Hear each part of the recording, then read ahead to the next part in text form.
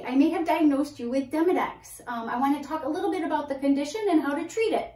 So this is a little mucus plug that we see at the base of the eyelash. When I look at you under the microscope, I can see a lot of these and then I know that these little critters are infecting your hair follicle.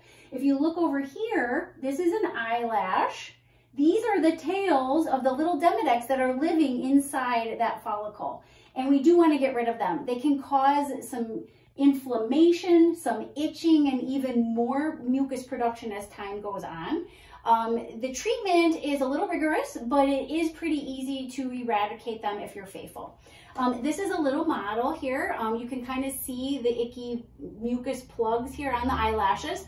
This is a large representation of what this mite is. It's a Demodex mite, um, you know, similar to a dust mite.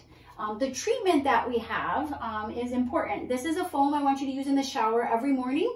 Two pumps of foam, okay? I want you to rub it into your upper lashes and also your lower lashes. Take a washcloth and exfoliate dead skin cells and try to maneuver that uh, foam all around and try to penetrate into the eyelash.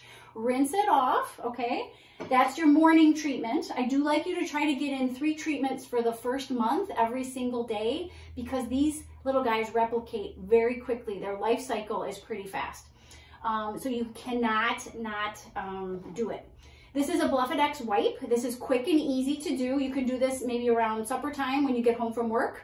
Um, you're gonna oh, use one wipe for each eye, just tear it off, Rub that wipe all over. It has um, tea tree oil in it and coconut oil, so it is somewhat soothing.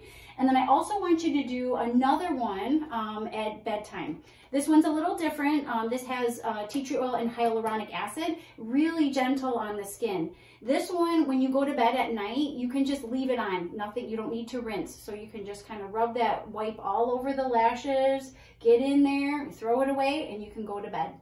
So be consistent with your treatments and then we'll see you back for your follow-up.